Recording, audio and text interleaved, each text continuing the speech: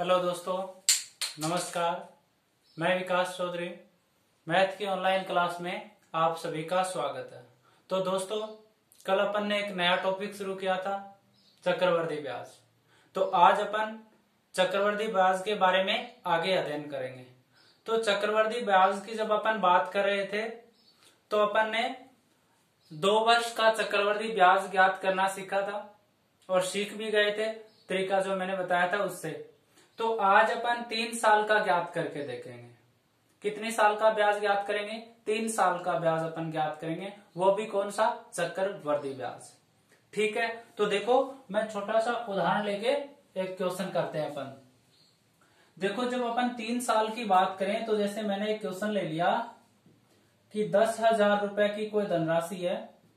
आप कह सकते हो, मूलधन पी बराबर दस हज़ार रुपए है और दर बराबर दे रखा है आपको दस प्रतिशत वार्षिक।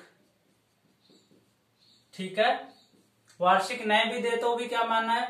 वार्षिक ही मानना है ना? दस प्रतिशत और समय दे रखा है अपने को। समय बराबर तीन वर्ष। ठीक है? क्या ज्ञात करना है अपने को? सीआई ज्ञात करना है, चक्रवर्ती ब्याज।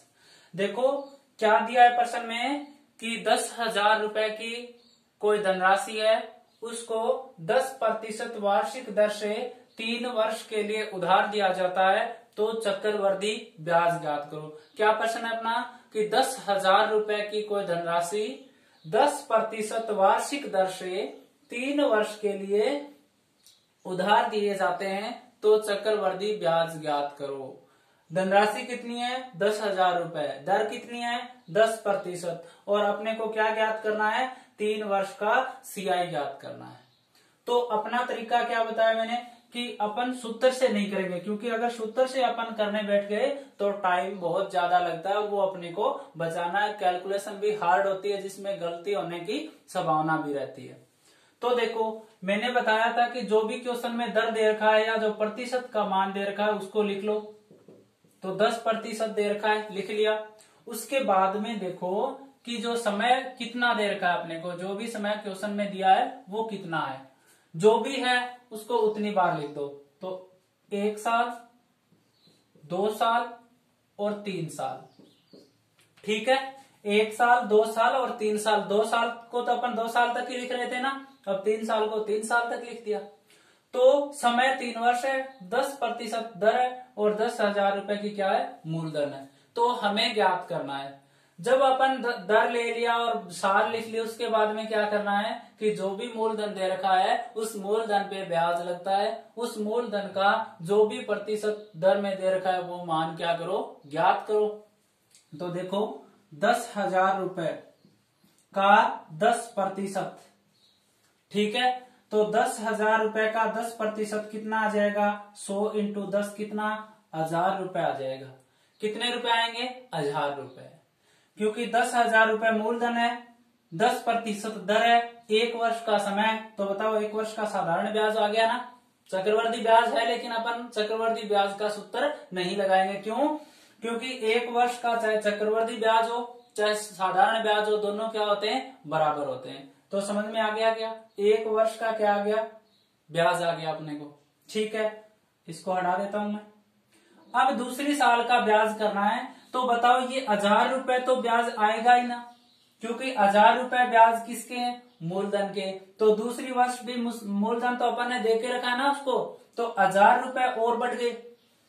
अब ये हज़ार रुपए बढ़े क्यों हैं? क्योंकि चक्रवर्ती ब्याज की अपन बात कर रहे हैं। तो चक्रवर्ती ब्याज की विशेषता है कि ब्याज पर ब्याज लगता है।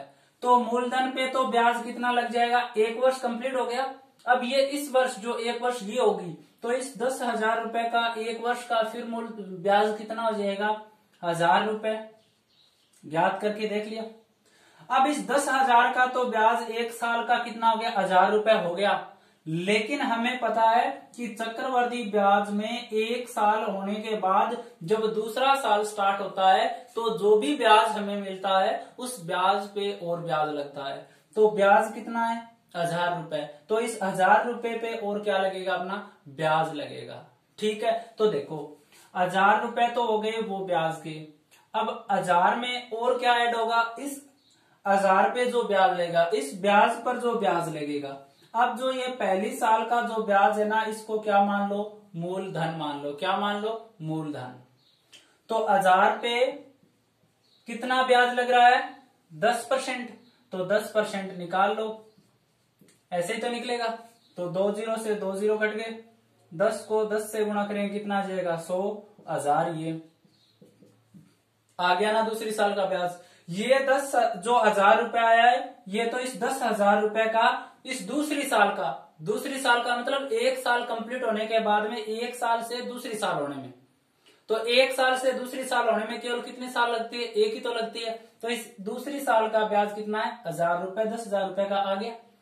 उसके बाद में एक साल में जो हज़ार रुपए जो ब्याज लगा है, उस ब्याज पर भी क्या लगेगा? ब्याज कितना लगेगा? दस परसेंट। तो दस परसेंट जैसे ही ब्याज लगेगा तो हज़ार का दस परसेंट निकालेंगे, कितना आ जाएगा? सौ रुपए। तो दो साल का तो अपन ने कल भी सीख लिया था। तो आ गया। अब देखो, तीसरे साल को ध्यान से देखना है। देखो इस दस हज़ार पे तो तीसरी साल पे भी तो ब्याज लगेगा ना, क्योंकि मूलधन है ये तो तीन साल तक अपन दे के रखेंगे। तो इसकी तो कोई दिक्कत नहीं है। सबको समझ में आ जाता है कि भाई हज़ार रुपए इस पे तो लगेगा। उसके बाद में बताओ, जो ये हज़ार रुपए है, जो ये हज़ार रुपए ये हज़ार रुपए ये एक साल है ना यहाँ पे? ठीक है, यहाँ पे ये एक वर्ष कंप्लीट हो गई। और एक वर्ष यहाँ पे, और एक वर्ष ये खत्म हो जाएगी। तो इस एक वर्ष में हज़ार रुपए पे कितना ब्याज आया है? सौ रुपए। आया है ना? अब बताओ। दस हज़ार रुपए का ब्याज तो इस वर्ष भी हज़ार आया है। तो इस वर्ष में भी कितना आएगा? हज़ार रुपए आएगा ना। उसके बाद में बताओ, ये हज़ार रुपए और बच गए ना, और ये सौ रुपए बच गए। दस हज़ार का तो हज़ार निकाल लिया, लेकिन हज़ार का भी तो ब्याज बच गया ना। हज़ार का एक वर्ष का ब्याज कितना होता है? सौ रुपए। तो ये हज़ार रुपए इस वर्ष में आ जाएँगे ना, क्योंकि एक साल पहले तो ये नहीं थे। क्यों नहीं थे? क्योंकि कोई ब्याज नहीं आया था। तब अपने पास केवल क्या था? मूलधन। तो ज्ञात कर लिया। जैसे एक साल कंप्लीट होया तो एक ब्याज आ गया अपने पास। ये ब्याज अपन ने मूलधन मान के ज्ञात कर लिया। ठीक है। अब ये साल खत्म हो गया। अब दूसरी साल से तीसरी साल होने में एक वर्ष और लग गया।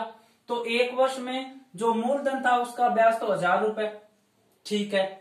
और जो इस वर्ष में जो ये ब्याज आया है, इस ब्याज पर ब्याज कितना आया है? सौ रुपए। तो इस एक हज़ार रुपए का एक वर्ष का और ब्याज हो जाएगा ना?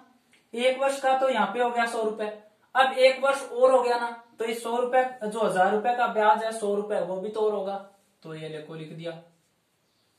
लिख दिया ना? अब देखो, चक्रवर्ती ब्याज का हमें पता है, ब्याज पर ब्याज लगता है। तो ब्याज कितना? सौ रुपए तो ये हो गया। हो गया ना? और हज़ार रुपए ये हो गया। कितने हो गए? ग्यारह सौ हो गए कि नहीं हो गए? ब्याज पर ब्याज लगता है। तो यहाँ पे ब्याज आया, हमने लगा दिया, निकाल लिया। अब ब्याज दो हो गए ना, एक तो ये सौ रुपए हो गया और एक ये हज़ार रुपए हो गया। तो कितना ब्याज हो गया? ग्यारह सौ। तो अब इन दोनों को जोड़ के कितना परसेंट निकालना है? वही दस परसेंट निकालना है। बस ये बात ध्यान में रखना है। कि जब अपन तीन वर्ष का, जब अपन चक्रवर्ती ब्याज ज्ञात करें तो दो वर्ष तक तो आसानी से याद रह जाता है कि पहली साल तो अपन मूलधन पे निकाल देते हैं। उसके बाद में मूलधन वाला लिख के जो भी ब्याज आया, उसका परसेंट निकाल देते हैं। उत्तर अपना सही होता है। लेकिन जब अपन तीसरी वर्ष में जाते हैं तो मूलधन का लिख देते हैं। फिर जो हज़ार पे जो ब्याज था, उस पे लिख देते हैं। उसके बाद अपन गलती क्या करते हैं कि जो ये सौ रुपए, जो हज़ार रुपए का ब्याज था एक साल का यहाँ से, उस पे ब्याज अपन निकाल देते हैं कितना परसेंट दस। और उत्तर अपन दे के आते हैं। दस रुपए हो गया ना ये? तो यहाँ पे कितना आता केवल? दस रुपए। जो कि अपना क्या होता है? गलत। क्यों? क्योंकि कुल ब्याज पे लगेगा ना। मूलधन तो अलग है, लेकिन ब्याज तो कुल ब्याज पे लगेगा ना। यहाँ तो केवल हज़ार रुपए था तो हज़ार रुपए का सौ रुपए सौ रुपए आया। अब बताओ, ब्याज हज़ार तो ये, सौ रुपए ये। मतलब हज़ार ये और सौ रुपए ये कितना हो गया? ग्यारह सौ हो गया कि नहीं ब्याज? तो ग्यारह सौ रुपए पे लगेगा यहाँ पे ब्याज, ना कि इस सौ रुपए पे। ये चीज़ आपको ध्यान में रखना है। ये चीज़ आपको ध्यान में रखना है हमेशा। जितना आपके पास ब्याज होता है कुल, उस कुल ब्याज को जोड़ते जाओ और आगे परसेंट निकालते जाओ।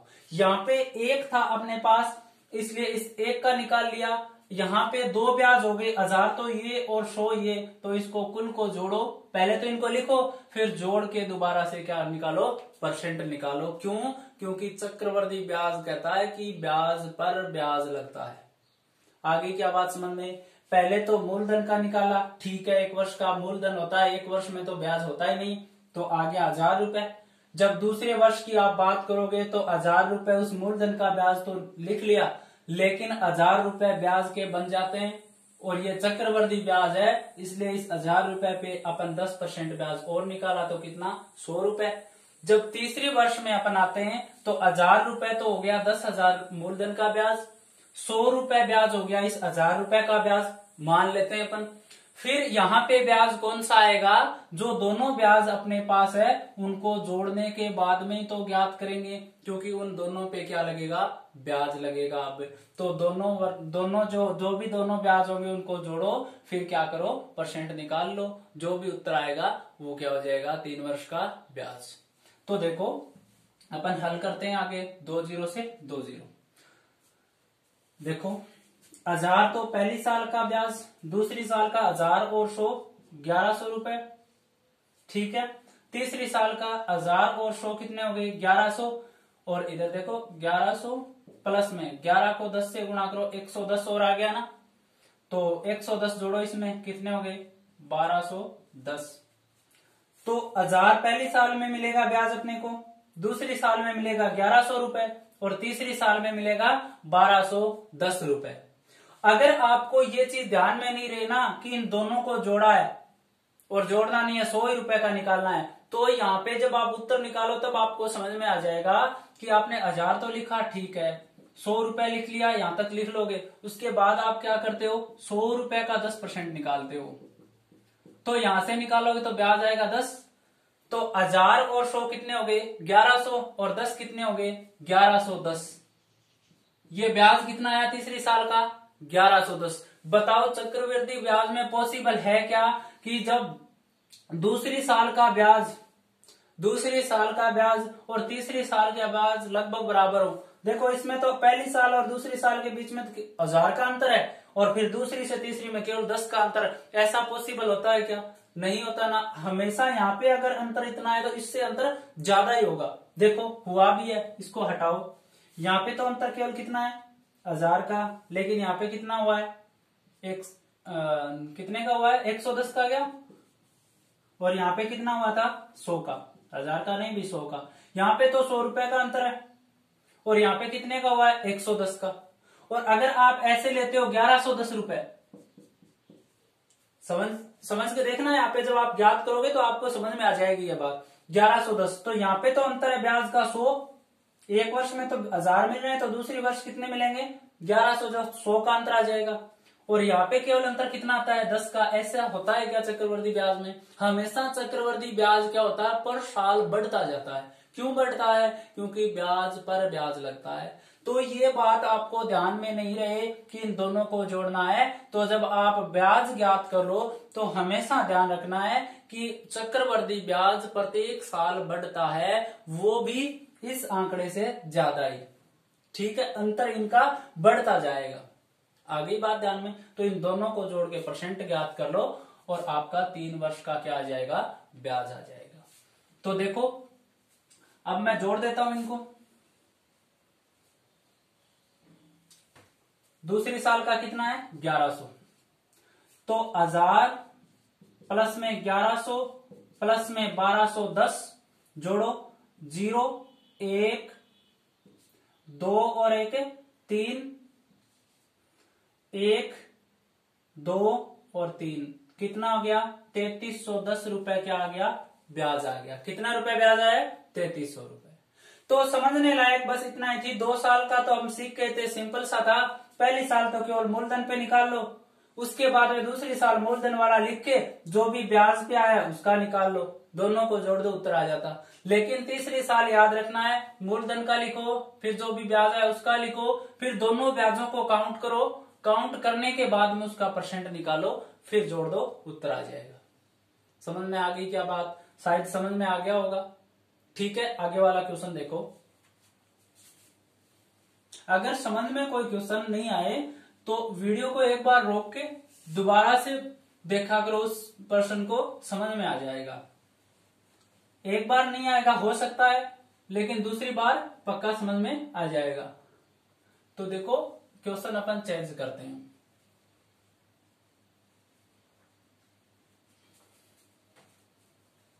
देखो, मूलधन अपन ले लेते हैं बीस हज़ार रुपए। कितना ले लेते हैं? बीस हज़ार रुपए। और दर भी ले लेते हैं अपन बीस प्रतिशत। दर कितने ले लेते हैं? बीस प्रतिशत। और समय वही अपना तीन वर्ष का ज्ञात करना सीख रहे हैं। तो तीन वर्ष। आगे क्या बात समझ में? देखो, कोई भी आप ब्याज ज्ञात करो, कोई भी ब्याज ज्ञात करो, आप हमेशा ऐसे आंकड़े सेट होते हैं क्वेश्चन में जो भी देगा ना आपको एग्ज़ाम में, उसमें आप पॉइंटों में उत्तर आने की संभावना बहुत कम होती है। क्यों होती है? क्योंकि एग्जामिनर जो पेपर बनाता है, उसको भी पता होता है कि एग्ज़ाम में टाइम बहुत कम होता है। एग्ज़ाम में टाइम बहुत कम होता है। तो बाय द वे कोई पॉइंट में उत्तर आता है। लगभग जब आप उत्तर करते हो तो लगभग पूरा पूरा उत्तर आता है। आपने देखा भी होगा एग्ज़ाम में, ज़्यादा से ज़्यादा एक मिनट जाता है। तो प्रश्न क्या है अपना? बीस हज़ार रुपए की धनराशि का बीस प्रतिशत की दर से तीन वर्ष का चक्रवर्ती ब्याज ज्ञात करो। बीस हज़ार रुपए की धनराशि का बीस प्रतिशत की दर से तीन वर्ष का चक्रवर्ती ब्याज ज्ञात करो।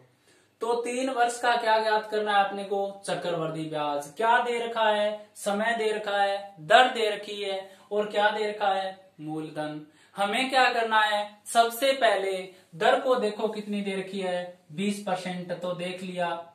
ठीक है? उसके बाद में क्या करना है? समय को चेक करो कितना है। तीन वर्ष तो तीन वर्ष लिख लो। एक, दो और तीन। जितने भी वर्ष दे, वो क्या लिख लो? सीक्वेंस में लिख दो। लिख लिया। उसके बाद में मूलधन को देखो। जो भी मूलधन में राशि दे रखी है, उसका प्रतिशत मान ज्ञात कर लो, जो दर में दे रखा है। ठीक है? तो देखो, बीस हज़ार रुपए की धनराशि का एक वर्ष का ब्याज इतना ही तो होगा। देखो, एक लिखना ज़रूरी है क्या? साधारण ब्याज का ही सूत्र है ये। या प्रतिशत से कह सकते हो, बीस हज़ार रुपए का बीस प्रतिशत। आप जिससे समझना चाहो उससे समझ लो। चाहे तो प्रतिशत मान लो, चाहे आप सिंपल इंटरेस्ट से कर लो, साधारण ब्याज से। तब भी यही सूत्र होगा। और आप प्रतिशत लगाओगे, तब भी यही होगा। क्योंकि हमेशा ये ध्यान में रखना, इस विधि से ब्याज हमेशा अपन कितने साल का निकालते हैं? एक साल का। चाहे इस पहली साल में भी एक साल का, दूसरे साल में साल तो दूसरी का निकाल रहे हैं। ठीक है? लेकिन ब्याज केवल एक ही वर्ष का। देखो, एक वर्ष तो यहाँ कंप्लीट होगा ना। कोई भी अपन वस्तु उधार दिए आज तो आज से एक वर्ष बाद ही तो एक वर्ष कंप्लीट होगी ना। तभी तो यहाँ पे ब्याज लेगा। फिर एक वर्ष के बाद में जो ये समय जो होगा, एक वर्ष और हो जाएगा ना। तब जाके एक साल तो यहाँ हुई थी, फिर तभी तो दो वर्ष होंगे ना। तो यहाँ तक एक वर्ष कंप्लीट होता है। यहाँ दूसरी साल कंप्लीट होती है, लेकिन यहाँ से यहाँ तक केवल कितनी वर्ष होती है? एक ही वर्ष। तो इतना तो ब्याज यहाँ पे अपन ने ज्ञात कर लिया यहाँ तक तो। तो बताओ, यहाँ से यहाँ तक केवल ब्याज ही तो ज्ञात करेंगे? तो समय कितना होता है इसमें केवल? एक वर्ष का।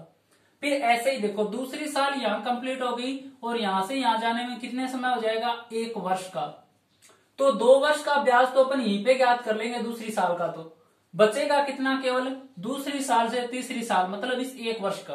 तो इस विधि में हमेशा ब्याज अपन केवल एक साल का निकालते और उस एक साल को मानते हैं कि वो पहली साल है, और अपन क्या ज्ञात करते साधारण ब्याज ज्ञात करते ये चीज़ अगर आपको समझ में आ गई तो पूरा क्वेश्चन आप क्या कर लेते हो? हल कर लेते हो। तो देखो, इसको हटा देता हूँ मैं।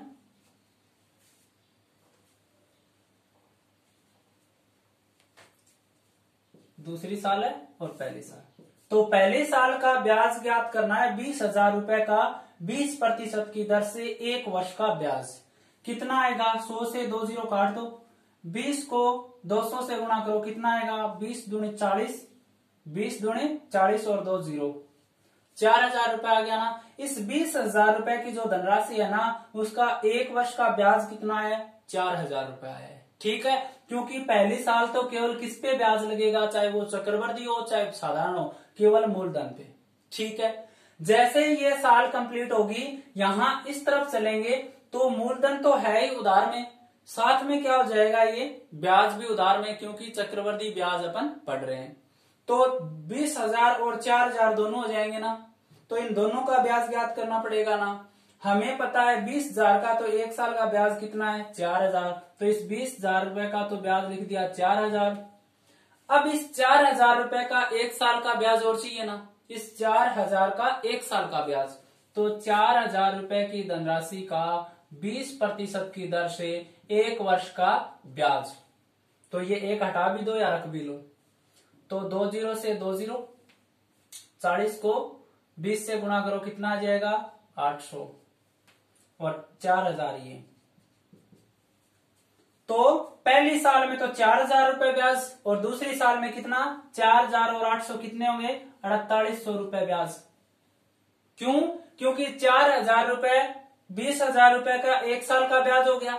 लेकिन चार हज़ार रुपए जो ये ब्याज है, ये और बढ़ जाता है। इसकी वजह से इस पे क्या लगता है? ब्याज। और इस चार हज़ार रुपए का एक साल का ब्याज कितना होता है? आठ सौ रुपए। तो दोनों ब्याज कितने आ गए? अड़तालीस सौ रुपए आ गया यहाँ तक समझ में तीसरी साल का देखो। दूसरी साल से तीसरे साल तक जाने में कितना समय होता है? एक वर्ष का। तो समय अपने पास एक वर्ष है। दर कितनी है? बीस परसेंट। ठीक है, मूलधन देखो। जब मैं मूलधन बीस हज़ार लू तो कितना ब्याज आएगा एक वर्ष का? चार हज़ार रुपए आएगा ना? तो ये लो रख दिया चार हज़ार।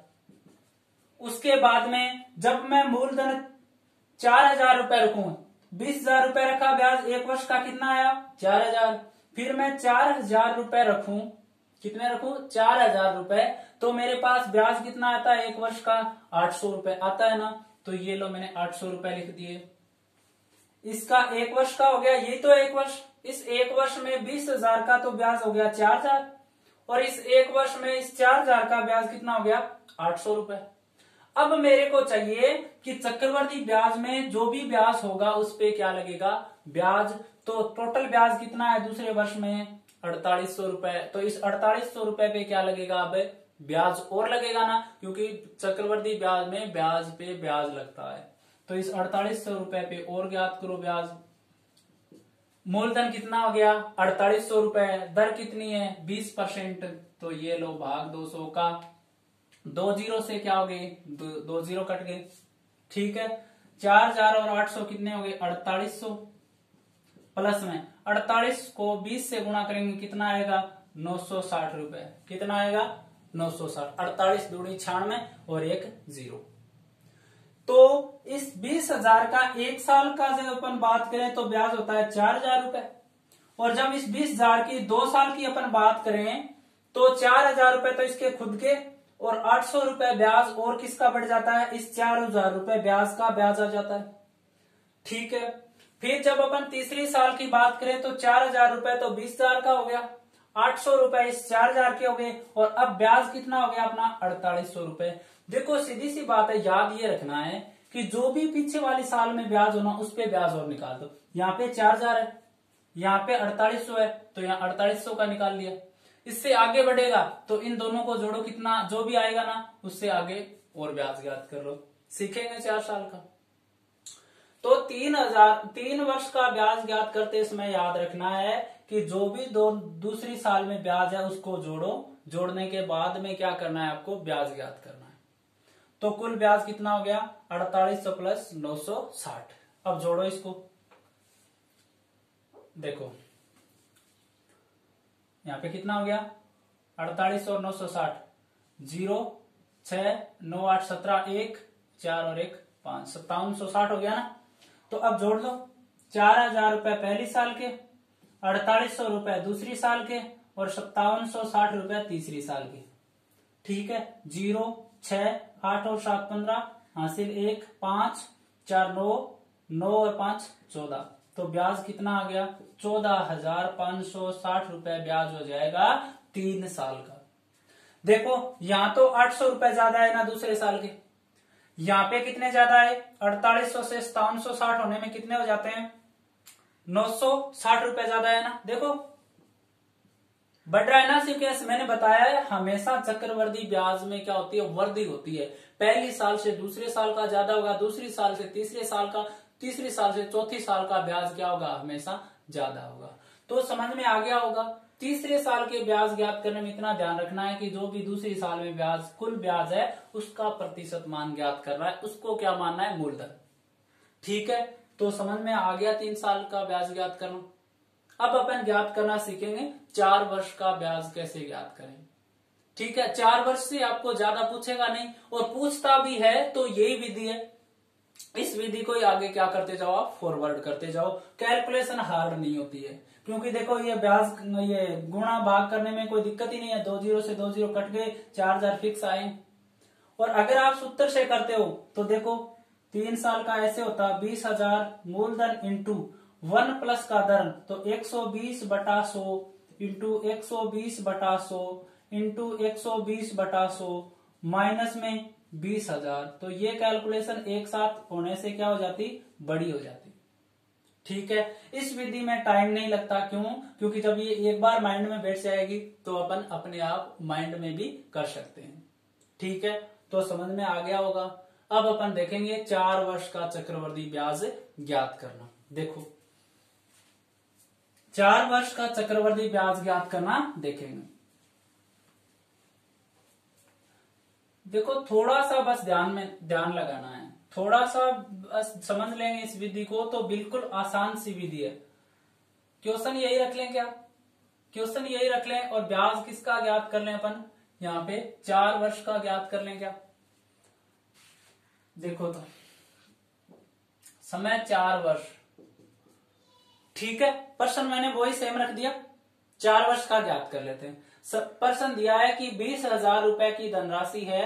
बीस प्रतिशत की दर से चार वर्ष का चक्रवर्ती ब्याज ज्ञात करो। बीस हज़ार रुपए की धनराशि का बीस प्रतिशत की दर से चार वर्ष का चक्रवर्ती ब्याज ज्ञात करो। क्या ज्ञात करो? चार वर्ष का चक्रवर्ती ब्याज ज्ञात करो। ठीक है? तो ब्याज अपने को ज्ञात करना है। तो हमें सबसे पहले क्या करना है? दर को देखो कितनी है। तो 20 परसेंट ठीक है। फिर क्या करना है? समय को देखना है कितना है। जितनी भी वर्ष है, उतनी बार लिख दो। तो देखो, एक साल, दो साल, और तीन साल, और चार साल। इतनी है ना? तो रख दिया मैंने। साल लिख ली। उसके बाद में क्या करना है? जो भी मूलधन दे रखा है, उसका प्रतिशत मान ज्ञात करो, जो दर में दे रखा है। तो मूलधन बीस हज़ार रुपए है। बीस हज़ार रुपए का क्या ज्ञात करो? एक वर्ष का ब्याज तो यही आएगा ना। तो कितना आ जाएगा? चार हज़ार रुपए। एक वर्ष का बीस हज़ार रुपए का चक्रवर्ती ब्याज कितना? बीस हज़ार चार हज़ार रुपए। बीस हज़ार रुपए का बीस प्रतिशत की दर से साधारण ब्याज कितना? चार हज़ार रुपए। ठीक है? चक्रवर्ती ब्याज ज्ञात करें, लेकिन सूत्र हमेशा किसका काम में ले रहे हैं? साधारण ब्याज का। कितने भी आप प्रश्न कर लेना, सब में अपन लगभग साधारण ब्याज का ही सूत्र काम में लेंगे एक आध क्वेश्चन को अपन छोड़ के। ठीक है तो देखो आगे। एक साल का तो हो गया। अब दूसरी साल का ब्याज ज्ञात करना है, समझा भी दिया मैंने ऐसे इसी क्वेश्चन को तीन वर्ष तक समझाया था ना तो दो वर्ष का ज्ञात करना है तो बीस हज़ार रुपए को ये अवधि कितनी हो जाएगी? एक वर्ष और हो जाएगी ना। तो इस एक वर्ष में कितना ब्याज और लग जाएगा? चार हज़ार रुपए। फिर क्या करना है? जो भी पहले साल में ब्याज है, कुल ब्याज उस पर और क्या करना है? उसको क्या मानना है? मूलधन मानना है और ब्याज ज्ञात कर रहा है। मैंने बताया ना, चक्रवर्ती ब्याज में ब्याज पे ब्याज लगता है। तो जो भी पीछे वाले साल में ब्याज है, उसको मूलधन मान के क्या कर लो? ब्याज ज्ञात कर लो। तो चार हज़ार रुपए पे क्या मूलधन हो गया? बीस प्रतिशत की दर से एक वर्ष का ब्याज।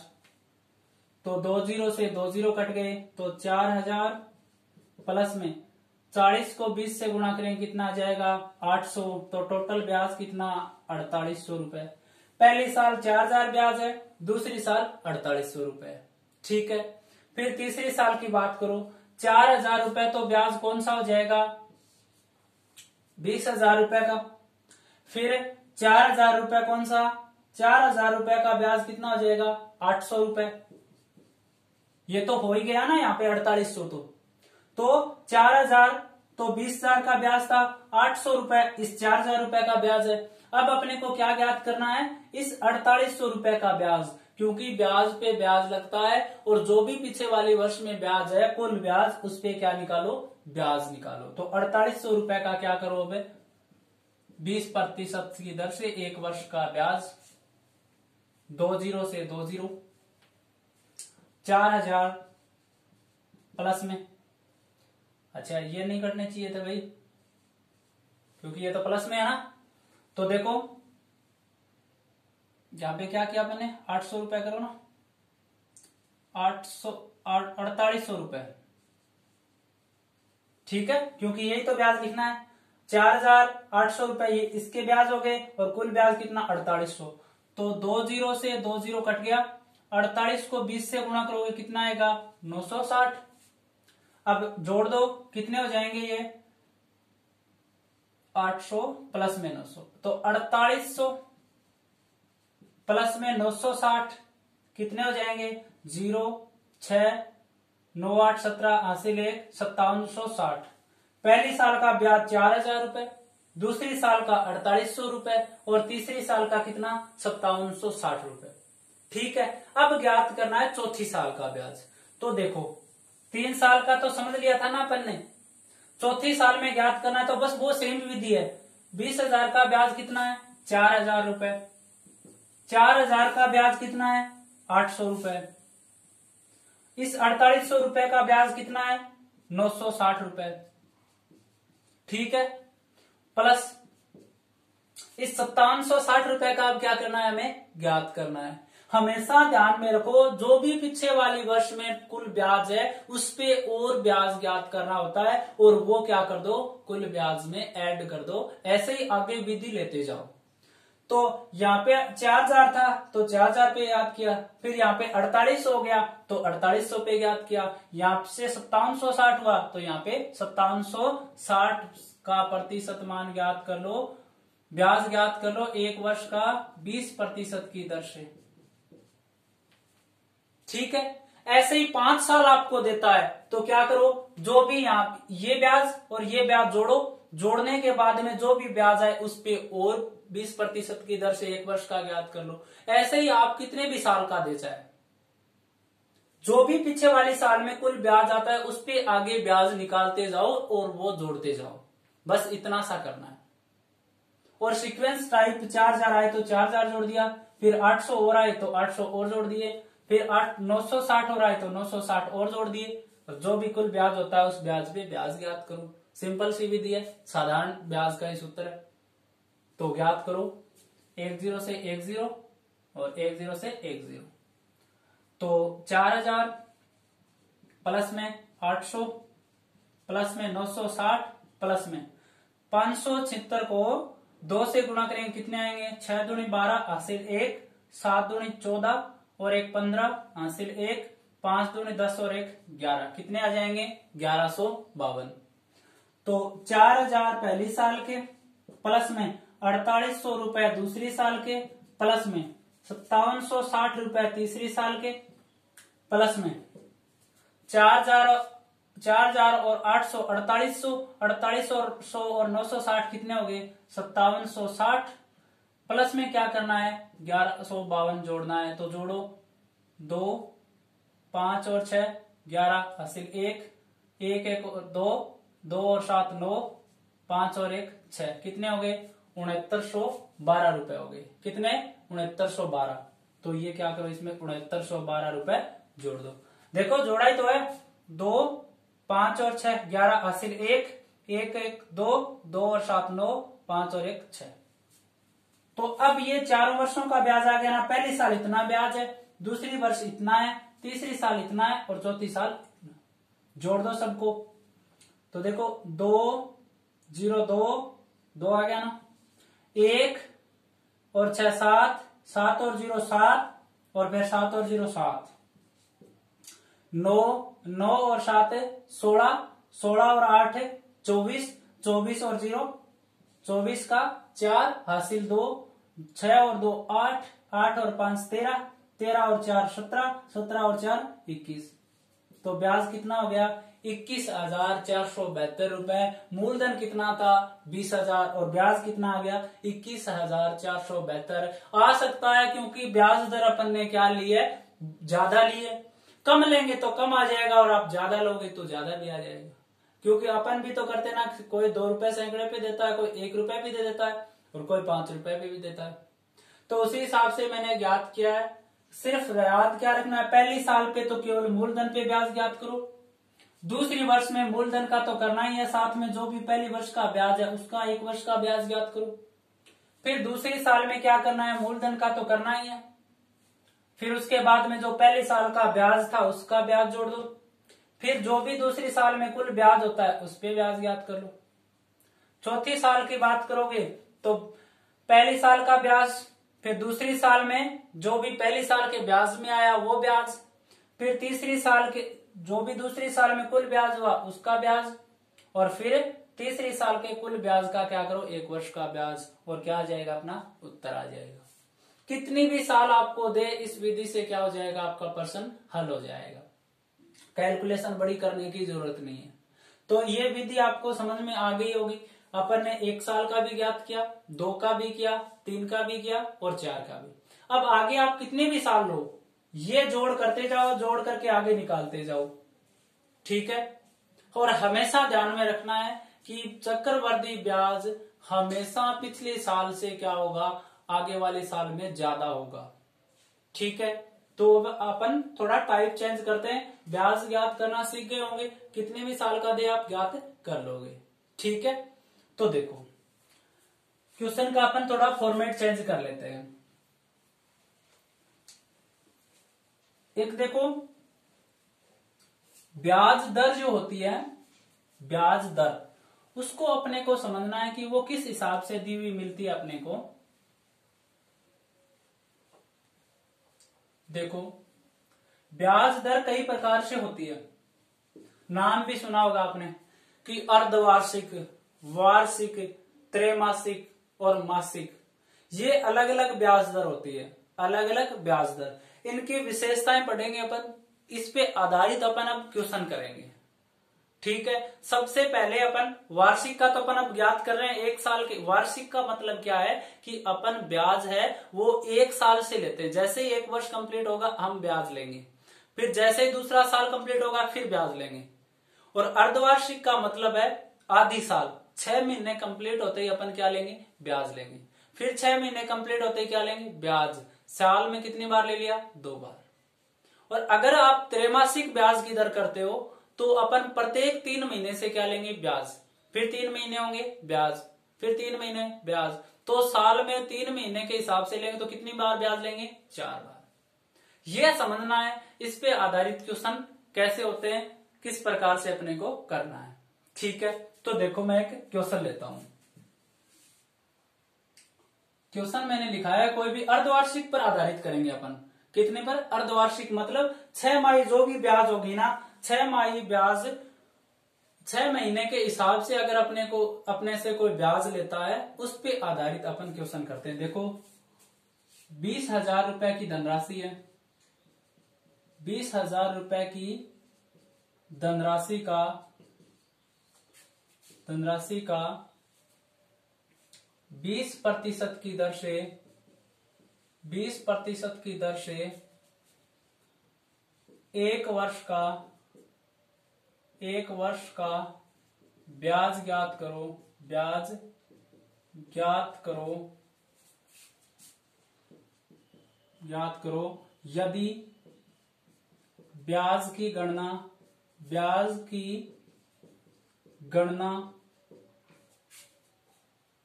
अर्धवार्षिक अर्ध वार्षिक रूप से की जाए। क्या बताया प्रश्न में? कि बीस हज़ार रुपए की कोई धनराशि है, उसको बीस प्रतिशत की दर से उधार दिया जाता है एक वर्ष के लिए। तो हमें ब्याज बताना है। तो क्या करना है? ब्याज।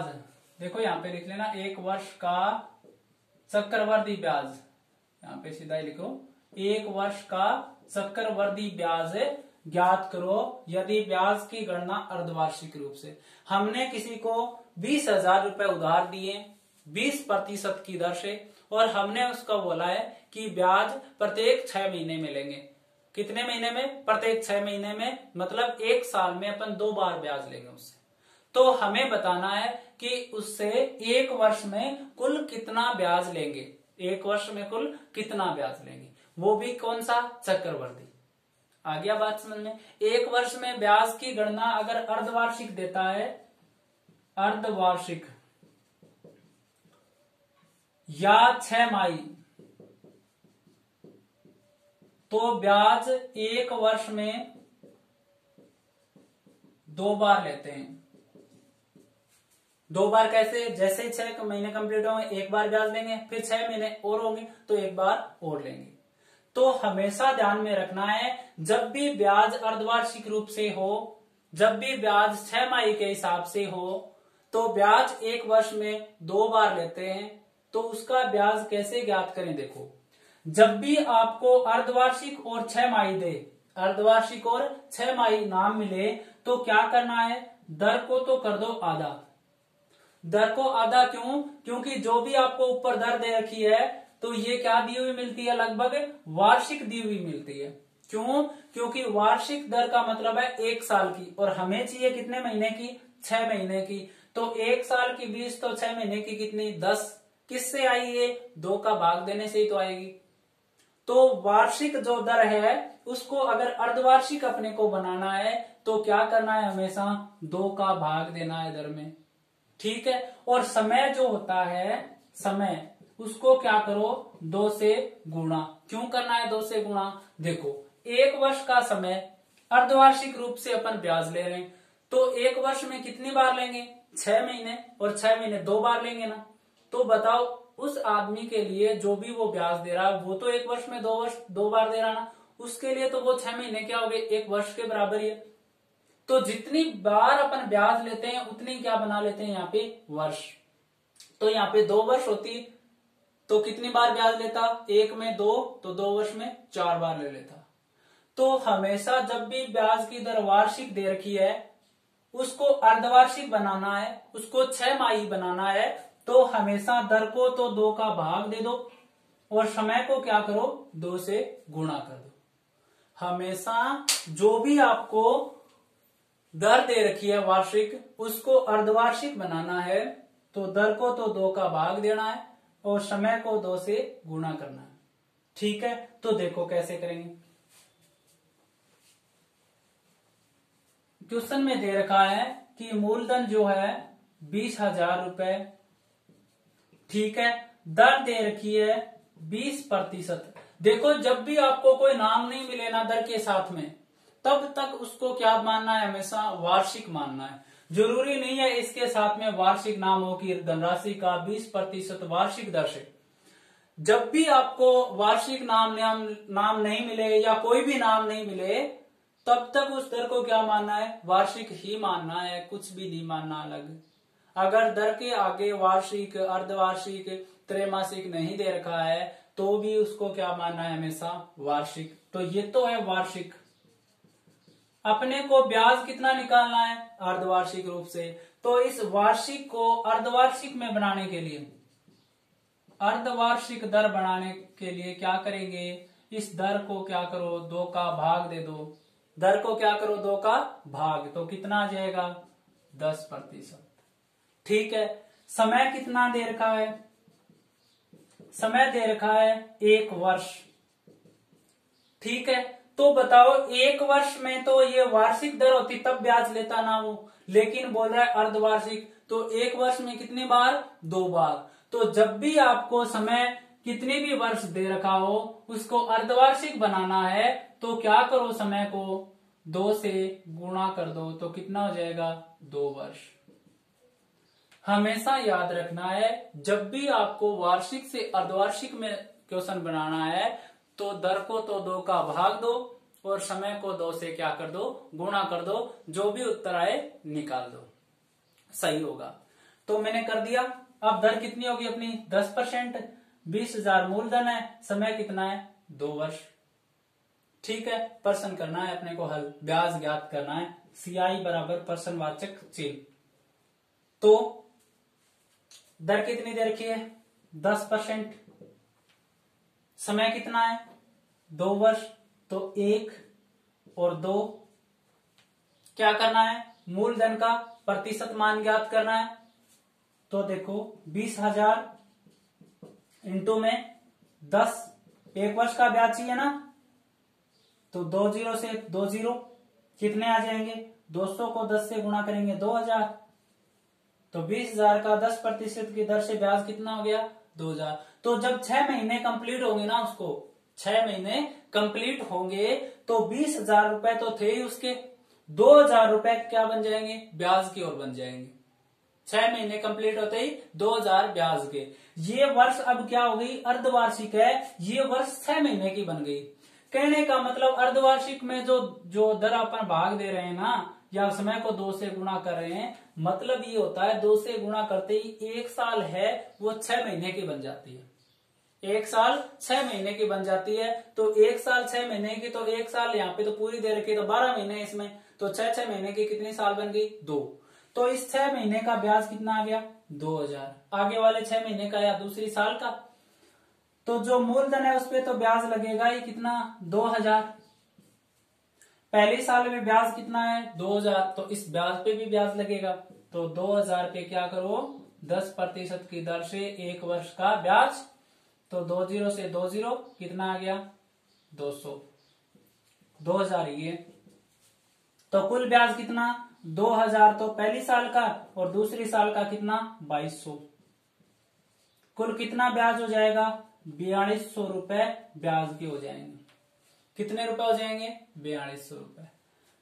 बीस हज़ार का दस प्रतिशत की दर से दो हज़ार रुपए आ गया। फिर दो हज़ार रुपए का ब्याज दस प्रतिशत के हिसाब से कितना आया? दो सौ रुपए। तो ये कितने हो गए? बाईस सौ। और ये कितने दो हज़ार। टोटल ब्याज कितना? बाईस हज़ार। तो बताओ आपको, जब भी कोई ब्याज अर्धवार्षिक रूप से आपको पूछे, वार्षिक रूप से दर देके तो क्या करोगे? दर को तो दो का भाग, समय को दो से गुणा। आ गई क्या बात समझ में बाकी अपनी वही विधि है। उस विधि से क्या करो क्वेश्चन हल कर सकते हो। आगे क्या बात समझ में एक क्वेश्चन और करते हैं अपन। समझ में आ गया ना? देखो।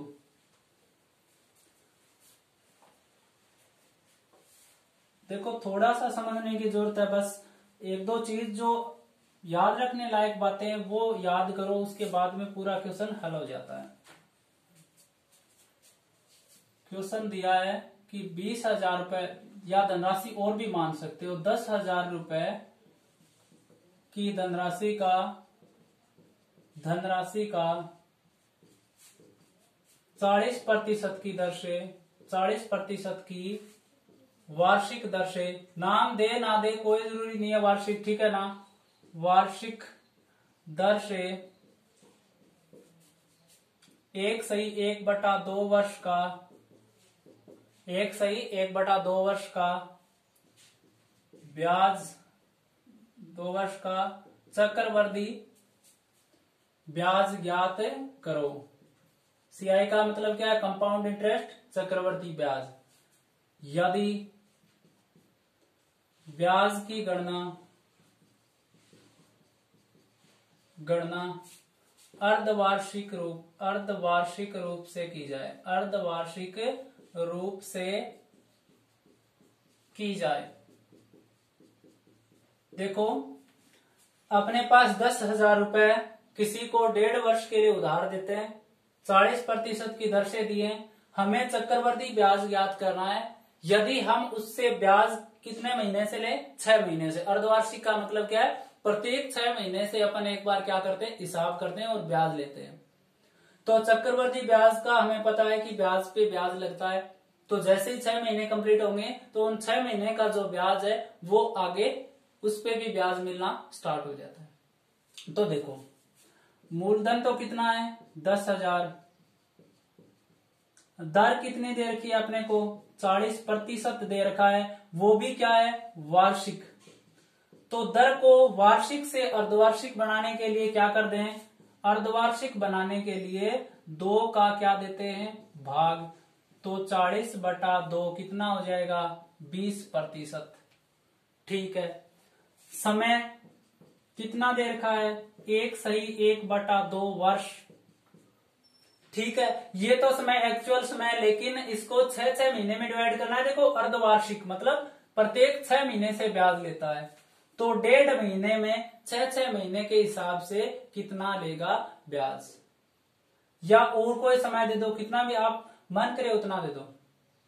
ठीक है? तो मैं जैसे ही गुणा करता हूँ इसको, दो से कर दो, क्योंकि अर्धवार्षिक से अब क्या बन, वार्षिक से क्या बनाना है अपने को? वार्षिक। तो मैं क्या करूँगा? दो से गुणा। डेढ़ साल है अपने पास। एक से ही एक बटा दो का मतलब क्या है? डेढ़ साल ही तो एक साल और छह महीने। तो जब डबल अपन करेंगे तो एक साल का डबल करेंगे तो दो साल और छह महीने का जब अपन डबल करेंगे तो कितने साल हो जाएगी? तीन साल। तो डेढ़ वर्ष को जब दो से गुणा करेंगे तो अपने पास कितना समय आ जाएगा? तीन वर्ष का समय आ जाएगा। क्योंकि समय को भी क्या बनाना है अब? छह माई।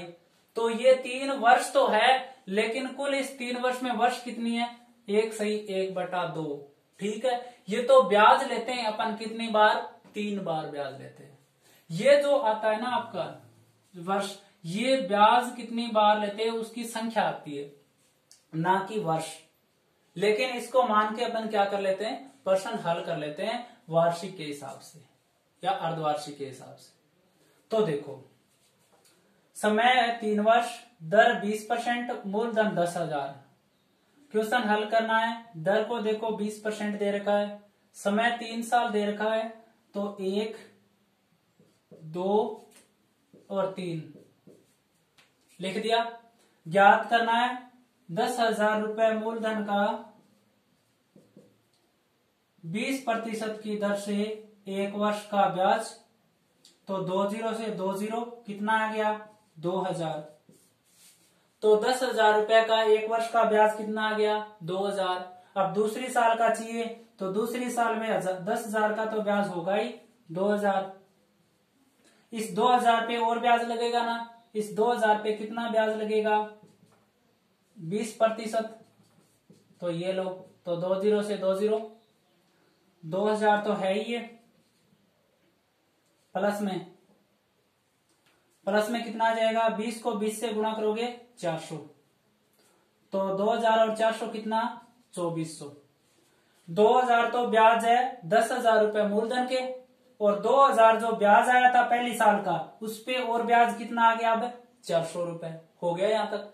तीसरी साल में दो हज़ार तो ब्याज के होंगे ही मूलधन वाले। फिर इस दो हज़ार रुपए का जो ब्याज है, उसका ब्याज कितना है? चार सौ रुपए अब इस कुल ब्याज का ब्याज ज्ञात करना है ना, क्योंकि ये भी तो ब्याज ही है तो इस कुल ब्याज का ब्याज कैसे ज्ञात करेंगे? चौबीस सौ इंटू बीस प्रतिशत की दर एक वर्ष का ब्याज। ठीक है, दो ज़ीरो से दो ज़ीरो। कितने आ जाएँगे? दो हज़ार प्लस में चार सौ, प्लस में चौबीस को बीस से गुणा करो, चार सौ अस्सी। ठीक है, जोड़ो इसको, दो हज़ार और चार सौ चौबीस सौ चौबीस सौ चार सौ अस्सी, अट्ठाईस सौ अस्सी। आ गया तीनों सालों का अलग अलग, सबको जोड़ दो। तो दो हज़ार चौबीस सौ और अट्ठाईस सौ अस्सी। तो ज़ीरो, आठ आठ, चार, बारह और दो हासिल एक, तीन, दो, पाँच और दो, सात। तो कुल ब्याज कितना आ गया अपना? बहत्तर सौ अस्सी रुपए। देखो ये जो दो हज़ार रुपए जो ब्याज आया है ना, ये लेगा छह महीने के बाद। ठीक है? फिर छह महीने जैसे ही और होंगे, कितना ब्याज लेगा? चौबीस सौ रुपए। फिर छह महीने और होंगे तो कितना ब्याज लेगा? अट्ठाईस सौ अस्सी रुपए। आगे क्या बात समझ में? ऐसे लेता है वो ब्याज। साल तो डेढ़ हुई ना, छह महीने ये, छह महीने ये और छह महीने ये। लेकिन अपन ने इसको अर्धवार्षिक बना लिया, दो से गुणा करके। तो बताओ, अर्धवार्षिक रूप से ब्याज जब आपको गणना करने के कहे तो क्वेश्चन हल हो जाएँगे क्या? ऐसे ही करना है। आगे बात समझ में तो आगे त्रैमासिक और मासिक रूप से ज्ञात करना अपन आगे वाले वीडियो में देखेंगे। यहाँ तक सबको समझ में आ गया होगा। आज के लिए इतना ही। धन्यवाद।